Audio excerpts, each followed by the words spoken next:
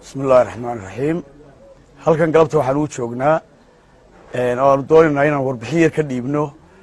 Waxaa la leeyahy berito haddii ilahay ka dhigo khamiista waxaa imanaya madaxweynihii somalilan gobolka togdheer magaala madaxiisa burco muuse biixi cabdi.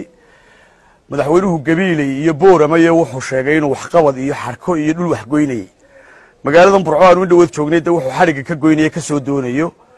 Garan mayno haddaanu de shirkaddii asli maydi ee uu albaabada isugu dhuftay ee ummadda manaafacaadka u lahayd ee ilaa ka xamaalkaa ilaa ka beerta iyo beeyada leh ka gaadhiga leh ka dekeda ka raraya ee ee tusadh ummadda manfaca u lahayd. Intuu albaabada isugu dhuftay aanu odhanayn waxaan idiin qabtay reer burcow waa aniga afka isu geliyey ee albaabada u xidhay shirkaddii asli maydi.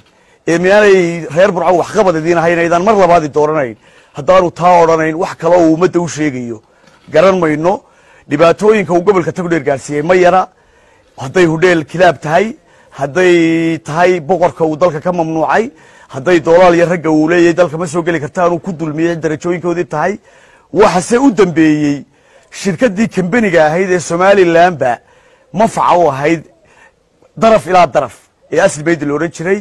Iminka burco waxa jooga oo nala jooga kumanaan qoys oo shirkadda qaar xamaala qaar xisaabiyayaala qaar gaadiidleeya oo aan maanta meel allaaliya meel ay u kacaan ahayn oo uu garan waayey haddaad isku dhaqdeen barkhad ummadda inta kale u tug waxaanu ku leenahay madaxweyne waanu kaa sugaynaa inaadna tiraahdo shirkaddii baan xidhay asli maydi laakiin u malayn maayo inaad dadweynaha gobolka togdheer wax kale aad u sheegto hayn waxaanu rajaynaynaa waanu ku haynaa abaalkeeda inaad shirkadaha baabiiso oo ganacsatada baabiiso oo aad dadka sidaa u rogto